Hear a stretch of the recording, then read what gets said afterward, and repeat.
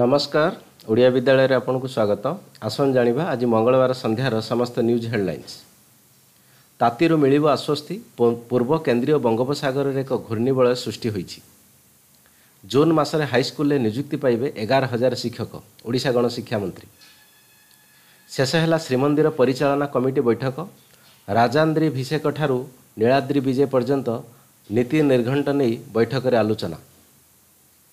ପ୍ରତିବାଦରେ ନୂଆ ତରିକା ବିଭିନ୍ନ ସମସ୍ୟାକୁ ବିରୋଧ କରି ବିଦ୍ୟୁତ୍ ଅଫିସରେ ମସଲା ବାଟିଲେ ଉପଯୁକ୍ତା।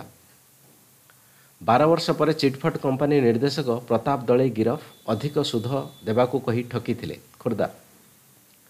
ଦାବି ହେବ ପୂରଣ ଗମନାଗମନ ହେବ ଆହୁରି ସହଜ ସାଲେପୁରରେ ଆରମ୍ଭ ହେବ ମୋ ବସ୍ ସେବା।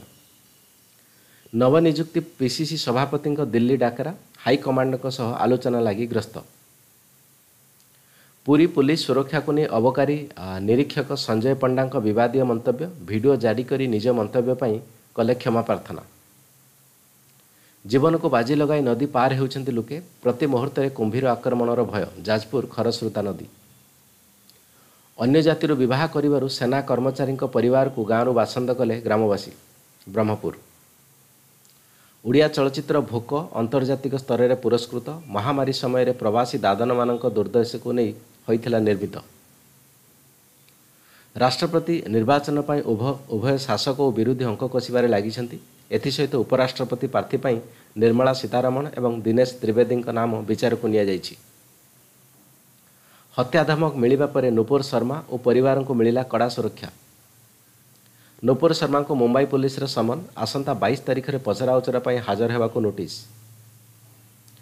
ଆର୍ଏସ୍ଏସ୍ କାର୍ଯ୍ୟାଳୟକୁ ବୋମା ପକାଇ ଉଡ଼ାଇ ଦେବା ଧମକ ଦେଇଥିବା ବ୍ୟକ୍ତିଙ୍କୁ ଗିରଫ କଲା ପୋଲିସ ସେନାରେ ନିଯୁକ୍ତିକୁ ନେଇ ଦୁଇଶହ ପଚାଶ ବର୍ଷ ଧରି ଚାଲି ଆସୁଥିବା ନିୟମକୁ ବଦଳାଇବାକୁ ଯାଉଛନ୍ତି ସରକାର ଯାହାଫଳରେ ସୈନିକମାନେ ମାତ୍ର ଚାରି ବର୍ଷ ପାଇଁ ନିଯୁକ୍ତି ପାଇବେ ହିଜାବୁଲ ମୁଜାହିଦିନ ଆତଙ୍କୀ ତାଲିବ ଗିରଫ କାଶ୍ମୀର ଘାଟିରେ ଟାର୍ଗେଟ୍ କିଲିଂ ସହିତ ରହିଛି କନେକ୍ସନ୍ ବାଂଲାଦେଶରୁ ଆବୁଧାବି ଯାଉଥିବା ବିମାନର ଇଞ୍ଜିନ୍ ଫେଲ୍ ଅହମ୍ମଦାବାଦରେ ଜରୁରୀ ଲ୍ୟାଣ୍ଡିଂ ତଦନ୍ତ ନିର୍ଦ୍ଦେଶ ଦେଲା ଡିଜିସିଏ। ଦୁଇ ଘଣ୍ଟା ପାଇଁ ରୋଗୀଙ୍କୁ ମାରିଦେଲେ ଡାକ୍ତର ଚିକିତ୍ସା ପରେ ପୁଣି ବଞ୍ଚାଇ ଦେଲେ ଆମେରିକା। ଫ୍ରାନ୍ସରେ ନିର୍ମିତ ହେଉଛି କୃତ୍ରିମ ସୂର୍ଯ୍ୟ ଭାରତ ସମେତ ପଇଁତିରିଶ ଦେଶର ବୈଜ୍ଞାନିକଙ୍କ ଗବେଷଣା ଜାରି।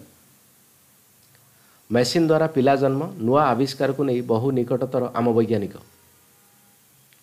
ସଲମାନ ଓ ସଲିମ ଖାନଙ୍କୁ ହତ୍ୟା ଧମକ ଦେଇଥିବା କଥାକୁ ଅସ୍ୱୀକାର କଲେ ଲରେନ୍ସ ବାରବାଟୀରେ ମ୍ୟାଚ୍ ଆୟୋଜନ ନ କରିବା ନେଇ ଆବେଦନ ଖାରଜ କଲେ ହାଇକୋର୍ଟ ଭାରତ ଦକ୍ଷିଣ ଆଫ୍ରିକା ଟି ଟ୍ୱେଣ୍ଟି ଆରମ୍ଭ ହେଲା offline ticket booking Cuttack mayor କିଣିଲେ ଟିକେଟ୍